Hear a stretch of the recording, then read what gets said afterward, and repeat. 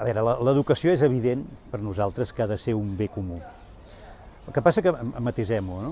Perquè comencem parlant de que l'educació és un dret de ciutadania. I per tant, com l'aigua, l'aigua és un dret i l'aigua és un bé, és un bé escàs. Precisament perquè és un dret de ciutadania, necessitem que hi hagi el suport, l'energia, el control del que és l'administració pública perquè es pugui exercir aquest dret.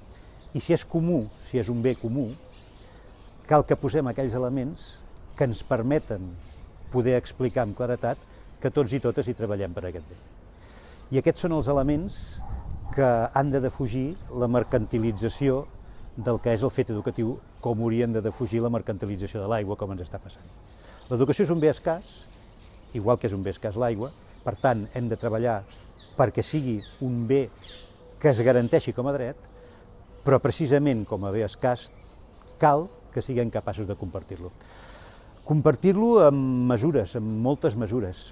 La primera de totes és garantint clarament que aquella que seria l'educació formal no passi gana. Per tant, tingui tots els elements econòmics necessaris perquè aquell inici de l'educació eh, on comencen els nostres joves i els nostres nens tingui totes les garanties d'igualtat d'oportunitats perquè serà allà on podem començar a fer una transformació social. Però no és només això, sinó que hem de pensar, si ha de ser un bé comú, en una educació al llarg de tota la vida. I què vol dir al llarg de tota la vida? Doncs, lògicament, que els actors i els agents educatius no són només aquells que estan formant part de l'educació formal.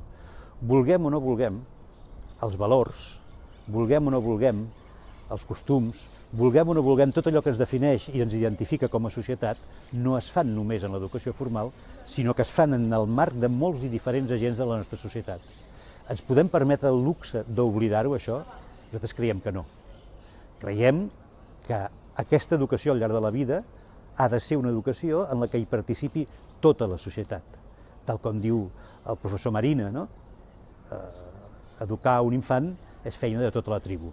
Bé, traduïm això en mesures legislatives, en mesures legals, en concreció de rols de cadascun d'aquests agents que intervenen i probablement tindrem un punt de partida igualitari i tindrem una capacitat potentíssima no només per ser creatius, sinó també per ser transformadors i per ser molt més constructors de la societat que volem, que és una societat molt més justa, molt més lliure i molt més crítica, perquè pugui ser cada vegada més lliure. Jo crec que aquestes són les bases i això senzillament ens ho agafem i ens posem a rumiar quines són les mesures des de la perspectiva de comú, no des de la perspectiva de l'afavoriment de lobbies, de l'afavoriment economicista, d'utilitzar l'educació senzillament com un mecanisme de cara al món laboral o de cara als interessos de classe o de cara als interessos d'identificació social, sinó com un bé comú, si som capaços de seure'ns tot l'entorn nostre, social, polític i no polític, serem capaços de definir quines són les polítiques educatives que tots podem compartir i que, per tant, no necessitarem canviar de lleis educatives cada vegada que canvien els polítics de torn.